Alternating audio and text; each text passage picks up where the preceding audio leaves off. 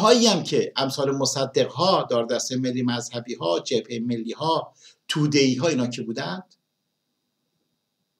اینا فکر می‌کردن حق با اونهاست. باید ما باشیم باید دست ما باشه باید اختیار دست ما باشه. چرا؟ چون می‌گفتن ما خاندان قاجار هستیم. اینها پهلوی تازه اومده. فکر می‌کردن. از نظر به قول معروف سفسته و مقالت هم درست می‌گفتند. اما اینها عمل می‌کردن اونها حرف می‌زدند. مصدق ناطق خیلی قوی بود صحبت کنه خیلی قوی بود. بازرگان همینطور بود. همه اینا اینطوری بودن. اما در عمل همه صفر بودن. ما تاریخ رو می‌کنیم ما من بدون تعصب صحبت می‌کنم. با واقعیت در حرف می‌زنم دوستان. برید بررسی کنید. خب شاهنشاه آمدن راه پدرشون ادامه دادن. خیلی قویتر و خیلی محکمتر با بینش خوب با دید خوب. و بعد از اتفاقی که در آذربایجان افتاد و ایشون رفتن اونجا و زمانی شد که به خوشبختانه روسیه تزاری سرنگون شد و و و شوروی و امثال هم در اونجا موفق شدند. اما ریشه اینی که دنیا در مقابل شاهنشاه در مقابل ملت ایران ارتش ایران تحقیر شد به خصوص شوروی از زمانی اتفاق افتاد که صدام دولت عراق که صدام داماد اون چیز بود به ایران اعلام جنگ کرد سر کارمون خوب دقت کنید. حالا همه دنیا نگاه می‌کنن که ارتش نوپای شاهنشاهی چه کار خواهد کرد؟ شاهنشاه هرچی بودجه می اومد یک مقدار زیاد چه خرج ارتش میگن و امنیت داشته باشه کشور همه چی داره. امنیت داشته باشه هیچی نداره. حرفشون کاملا درست بود. اول بود احساس امنیت انسان تا آرامش داشته باشه. تا انگیزه کار داشته باشه تا دنبال فعالیت امید داشته باشه. بهشون قوای ارتشی رو تقویت کرد در حد توان خب اولین التیماتوم شدید و آزمونوار رو بعد از جنگ شیش روزه که در در شوروی شکست خورد از اسرائیل و از دیرست از آمریکا اعلام جنگ عراق به ایران بود. چند سال؟ نه سال قبل از دسیسه جهانی. سال 48 49 و 50 با اینی که تو ارتش آدمای خائنی بودند. یا بازیچه قرار گرفتند. حتی سر مرز فشنگ مشکی فرستادن که الان از این بحث من خارجی. فقط دو تا هواپیما. دو تا هواپیما. رفتن کاخ صدام شیشا شکستند. یک مانور دادن برگشتن اومدن صدام چند ساعت بعد در الجزایر نشست و قرارداد سفید امضا کرد. اصلا دستاش بدنش میلرزید.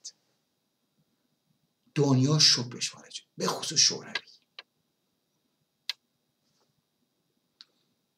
دید بابا نه جنگی نه درست لشکر کشی کرد سر مرزها وایستادن فلان که. اما رفت و قرارداد امضا کرد و گفت هر چی که شاه ایران بگه. چونشه دو تا هواپیما کشورش رو به هم ریخت.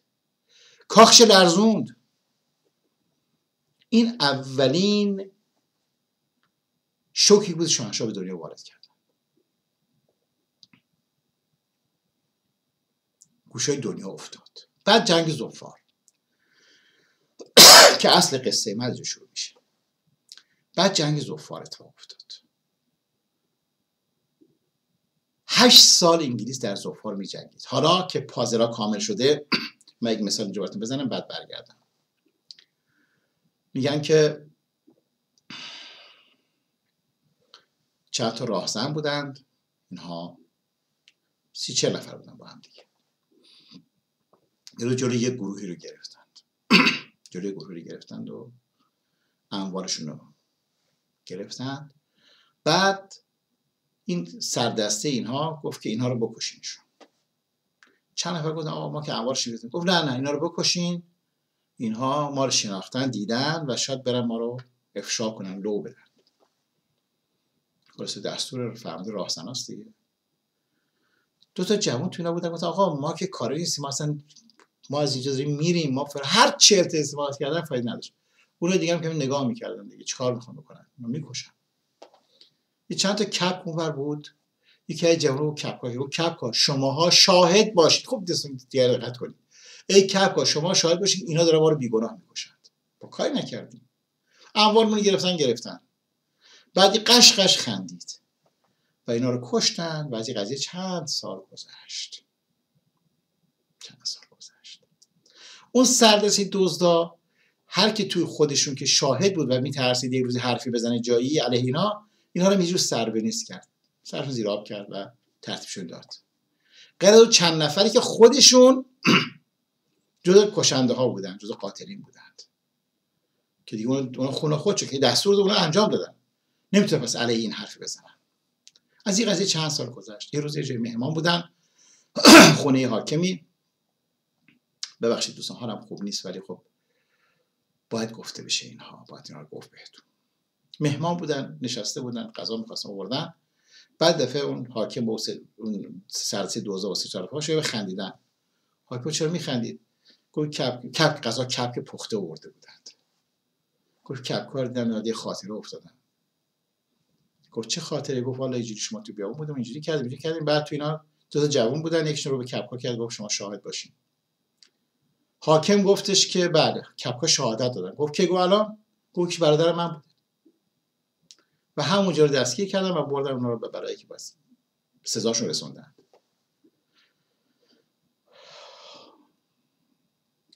حکومت جمهوری تبرکار و ننگ و خیانت در دنیا تمام کسایی که در جنایت باشه شریک بودن رو کشتند. از دکتر سامی ها کشتن اینو کشتن اونو کشتن.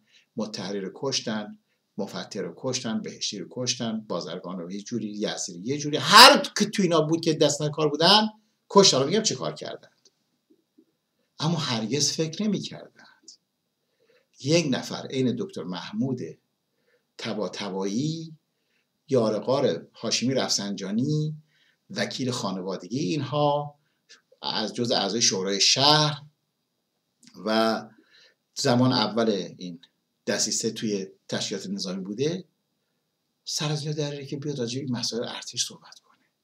سر کشتن و توقیت علی ارتش رو بگه. فکر چی نمی‌کردن؟ می‌گفتن شاید مثلا بیاد پسر هاشمی بگه این بگه ولی این رو فکر نمی‌کردن. و این همون قانون کائناته. یا مثلا برفرض بیاد ظریف از اون خارجه از پولشویی میلیارد میلیاردی داخل کشور بگه. اینا دست خودشون نیست. اینها باید بگن. یعنی از کسایی که امین حکومت هست میدی حرفو می‌زنه. اون آدمی که اصلا وکیله یه میدی حرفو می‌زنه. و اینها به گوش مردم می‌رسه. کارآمد دست داستان همینه. خب ما می‌دونیم که انگلیس کل منطقه خلیج فارس دست انگلیس بود. حاکم بود در منطقه. در تمام دنیا بود. در مستعمرات انگلیس آفتاب غروب نمی‌کرد. حالا نبینید جزیره شده و امروز هم که دیگه اروپا کلا توفش کرد بیرون چون دید لکه ننگیست براشون و خوشحال شاید اتحادیه اروپا خارج میشه. یعنی در عمل در اصل تموم شده است. خب حالا شما حالا در نظر مجسمه با صحبتی که این آقا کرد و پازل بر هم میچینیم به خصوص اونایی که ما تاریخ خوندن یه سری مسائل می‌دونن و نزدیک و دور نزدیک می‌دونن ببینن چقدر جالبه. انگلیس شوروی میاد. زوفا رو درست می‌کنه که برای خود تو خلیج فارس پایگاه درست کنه. خوب دقت کنید. همین کشور عمان همین عمان. اونجا درست کنه و بعد از اونجا بتونه ارتباطاتی بزنه کارهایی رو بکنه از هر طریقه شده به برسونه خودش به خلیج فارس. انگلیس به خاطر منافش به خطر میفته میاد چیکار می‌کنه؟ با اینا میجنگه. هشت سال جنگی دوستان. دیگه نتونستن. کم آوردن. چریک بودن چه چریکایی کی پشون بود؟ شوروی پشون بود. شوروی در هر جای دنیا که نیرو گذاشت برای اینجور کارا همه جا شکست بود هشت سال در افغانستان جنگید. با یک سری افرادی که کفش نداشتند غذا نداشتند آرد رو توی آب میریخت خمیر که میخوردند. با تمام تجهیزات شما روی جنگی نتونست در جنگ زفار خب می‌دونیم که عرب ها توان جنگ ندارن اصلا جنگجو نیستن. اون با شمشیر کار کردن مگر اینکه فرمانده خیلی قوی داشتن که عمان دیگه از این حرفا گذشته بود. آمدن با شاه ایران مذاکره کردن به خاطر خودشون خلاص کنند. که آقا اینا دارن شروع اومد شما اینا رو مراقب باش شاه هم قبول کردند. شاهنشاه آریامر ارتش شاهنشاهی که همین آقا داشت می‌گفت که زبانش مار زده بود که بگه شاهنشاهی. ارتش شاهنشاهی اومد. ظرف 6 ماه منطقه رو پاکسازی کرد. که دیگه کسی بعد از سال 1150 51 اسمی از زفار در دنیا نشنید. چینا ریشه کردن اینها رو تموم شدن اولین بار در تاریخی که یک گروه تروریستی یک گروه خرابکار اینجوری از بین ببرند. با کمترین تلفات و در به انگلیس کمک کردن دیگه مگه نه؟ مجلس عوام انگلیس ارتش انگلیس استیزار کرد که شما هشت سال چه غلطی کردین؟ این همه هزینه این همه معلولی همه مجروحی همه کشته از آخر دوم تو کدوم باشیم فرار کردیم در رفتید. خیلی اتفاق افتاد که حالا. اما این ارتش زنگ خطر دنیا شد. هم برای شوروی شد هم برای آمریکا شد هم برای اروپا شد به خصوص انگلیس. که خیلی ارتش خطرناکی. خیلی ارتش خطرناکی. جرن آذربایجان تدایی شد براشون. جرن عراق تدایی شد براشون. و آمدن شروع کردند. مزدور پروری خائن پروری علیه حکومت شاه که در از ارتش رو بزنند. در از ارتش رو بزنند. حالا ما می‌فهمیم. شاید بعضیش 20 درصد می‌دونستیم اما حالا قطعیت پیدا کرده صد درصد رسیده. دار دسته مصدق را میفتن جبهه ملی را میفته ملی مذهبی را میفتن حزب توده را میفته بعد میان ساده مجاهدین درست می‌کنن مجاهدین خلق درست می‌کنن چریک فدر خلق درست می‌کنن. تمام اینها هم سرنخاشون توی کشور دیگه بود. اینها مزدورها و بازیچ های اینها بودن. برای منافع اون کشور قدم برمی داشتن شستشو مخصوص می‌دادن. این اینجوری هست. جلو کباب دانشگاه اینه اونجوریه فلان شاه دوزه و شروع کردن مذهبی هم که دیگه تمام اینها رو حرکت دادن و همین رو وسوسه که شما حکومت می‌رسید. برای حکومت همه کار می‌کردن. مگه همین روحانیت کم رو گفت؟ مگه همین روحانیت کم به جون خودشون افتادن؟ مگه کم آدم زنده بگور کردن به اسمش ساواک انداختن؟ دوستان من قبل از این دستیسه و این دستیسه دیگه شورش هم نیست. دستیسه ننگین سال 50 من لاقل 20 تا دوست سیاسی داشتم. محله ما جوری بود که نزدیک دبستان علم مشهد بود. بچه تایر احمدزه رو من میدن آقای احمد ممزه هنوز زنده است. حسین جلیلی که با زن رجوی و مسعود خیابانی تو تهران و خیابانی توی چیز کشه شد مستجر ما بود. اینها رو خیلی ساواک گرفتشون. ولی یکیشون به من نگو هیچ چک تو گوش ما زدند. هیچ کدومشون. بردم نصیحت کردن وصیت کردن از تعهد گرفتن باز بیار آمدن یکیشون قسم می‌خورم براتون که نگفتن به ما به من که یک چک تو گوش ما زدن. چشما رو بستن بردن اعراب وحشت ولی کاری نکردم باشون در نتیجه اینها امثال گل سرخی امثال برای بچه اون چک فدای خلق جزنی و امثال هم آقا شدن لیدر. شورای می‌گفت شما این کار شما میشی فلان میشی شما این کاره میشه. مسعود رجوی خیابانی. و و و علم کردن همه اینا رو در اصل می‌خواستن ارتش رو بزنن. شاهنشاه رو بزنن شروع کردن به حرفایی گفتن. تهمت زدن افترا زدن. ما شیر و موز نمی‌خوایم ما شاه دوز نمی‌خوایم. و شروع کردن جفسازی کردند و کاری که خودتون می‌دونید. به خصوصی ملی مذهبی ها که یک کلوات هم می‌زدن و سلام سلامات هم میفرستادن و و مثلا آقای بازرگان فرستاده یعنی جز بورسی ایران بود. وقتی از خارج کشور برگشت کتابی نوشت به نام تهارت نحوه تهارت گرفتن در اروپا. بگذاریم حالا کار ندارم.